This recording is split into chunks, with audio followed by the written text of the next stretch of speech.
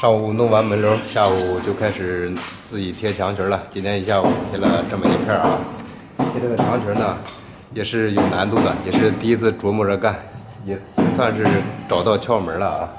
像我们粘瓷砖用的不是水泥，是粘结剂，它和的呢不能太稀，太稀了它往下拖嘛，拖不住，还要和很稠，所以往上抹的时候比较费劲儿。